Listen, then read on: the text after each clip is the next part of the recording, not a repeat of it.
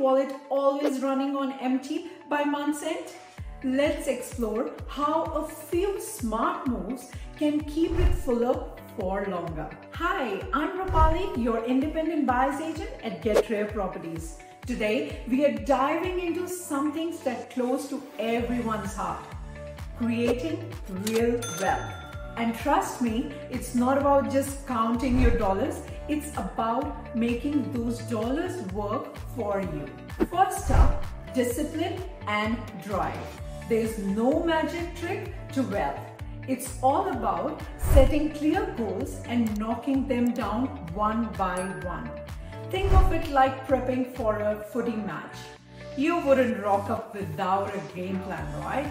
Same goes for your finances as well. Second, being organized. If your idea of filling bills is chucking them into a drawer, then we need to have a chat. Getting your financial house in order isn't just neat, it's crucial. It's about making plans and following through.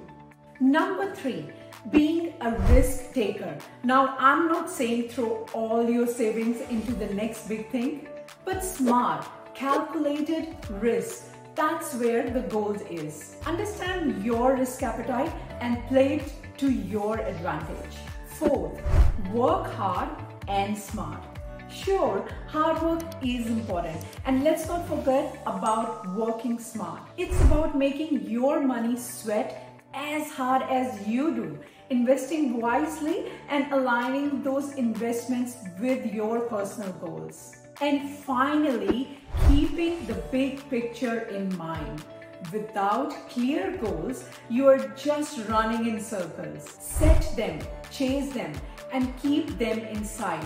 It's all about knowing where you want to go and not getting sidetracked by every shiny new thing. Remember, the path to wealth isn't a sprint, it's a marathon. Stick with these strategies and you will see the change. Keep pushing forward and let's get wealthy together. Don't forget to hit that subscribe button for more insights. Like this video and comment your thoughts. And if you are looking to discuss your personal property wealth strategy, book your free consultation with us. Until next time, keep building your empire one smart move at a time.